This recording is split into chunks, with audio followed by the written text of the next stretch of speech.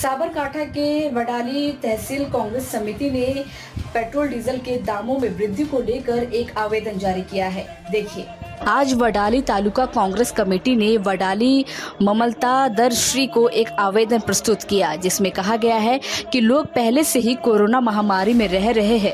गरीबों और मध्यम वर्ग को डीजल, पेट्रोल और रसोई गैस की बढ़ती कीमतों के कारण काफ़ी परेशानी का सामना करना पड़ रहा है।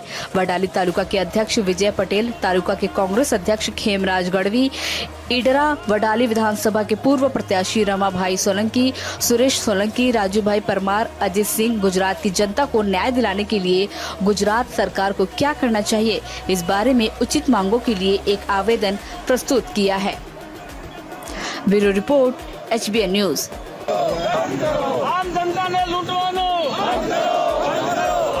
आज रोज बढ़ती कीमतों को लेकर कांग्रेस समिति ने विरोध प्रदर्शन करते हुए मामलादार श्री को दिया आवेदन पत्र और ये सब आप हम आपको दिखाएंगे अब ગુજરાતની અંદર આજરોજ આવેદનપત્રો થકી અને દેખાવો થકી કાર્યક્રમ યોજવાનું નક્કી થયું હતું તેના ભાગરૂપે વડાલી તાલુકા કોંગ્રેસ સમિતિ આયોજિત આજનો આ કાર્યક્રમ એ દેખાવો સાથે આપણે આવેદનપત્ર પાઠવીએ છીએ આપ આપના માધ્યમથી રાજ્ય સરકાર સુધી અને કેન્દ્ર સરકાર સુધી અમારી વાત પહોંચાડી અને પેટ્રોલ અને ડીઝલનો ભાવ વધારો પાછો ખેંચાય એ માટે અમે આપને સૌ આવેદનપત્ર આપી આ વિનંતી કરીએ છીએ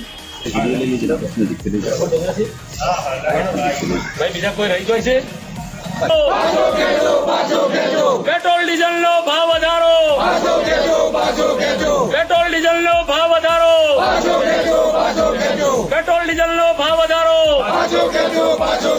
આમ જનતાને કોરોના મહામારીમાં છેલ્લા ત્રણ ચાર મહિનાથી સમગ્ર દેશ અને રાજ્યની પ્રજા જ્યારે મુશ્કેલી અનુભવી રહી છે લોકડાઉન એક લોકડાઉન બે લોકડાઉન ત્રણ અને અનલોક વનની સાથે સાથે પ્રજાની જે મુશ્કેલીઓ વધી રહી છે અને સમગ્ર ધંધા રોજગાર ઠપ થઈ ગયા છે. જ્યારે ગરીબ માણસોને તો ખાવાનું પણ મુશ્કેલ થઈ રહ્યું છે. કેટલાક લોકો, હજારો લાખો લોકો બેરોજગાર બન્યા છે.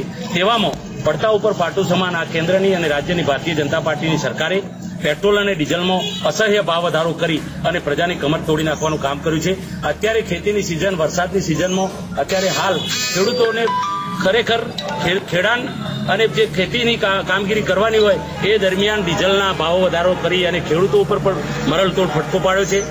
સાથે સાથે આ રાજ્યની મોંઘવારીએ માજા મૂકી છે. આ રાજ્યની ભાજપ સરકાર અને કેન્દ્રની ભાજપ સરકારે લોકોની મુશ્કેલીઓને દૂર કરવાને બદલે લોકોની મુશ્કેલીઓ વધારવાનું કામ કર્યું છે. તેના ભાગરૂપે સમગ્ર ગુજરાતની અંદર ગુજરાત પ્રદેશ કોંગ્રેસ સમિતિ ના આદેશ અનુસાર આજ રોજ સમગ્ર તાલુકા મથકોએ દેખાવો અને આવેદનપત્ર આપવાનો કાર્યક્રમ પ્રદેશ કોંગ્રેસ સમિતિ તરફથી આપવામાં આવેલો હતો.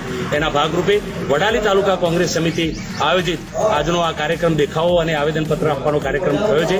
તેમાં તાલુકા અને શહેર કોંગ્રેસ સમિતિના સૌ અગ્રણીઓ, ભાઈ શ્રી ખેમરાજદાન, ભાઈ વિજયભાઈ ભૂપેન્દ્રસિંહજી અજીતસિંહજી, ગોવિંદભાઈ દિનેશભાઈ અને સૌ તાલુકા પંચાયતના સદસ્યો, નગરપાલિકાના તમામ કોર્પોરેટર મિત્રો અને તમામ અગ્રણીઓ, આગેવાનોએ સોશિયલ ડિસ્ટન્સિંગનું પાલન કરી અને આ કોરોના મહામારીની અંદર વધારે માણસો એકઠા ન થાય એટલા માટે ચુનંદા અને ગણતરીના આગેવાનોને આજે બોલાવી અને સોશિયલ ડિસ્ટન્સિંગ દ્વારા અમે પ્રજાને પડતી મુશ્કેલીઓને વાચા આપવા માટેનો આ એક પ્રયાસ કરી અને મામલતદારશ્રીને આજરોજ આવેદનપત્ર આપ્યું છે.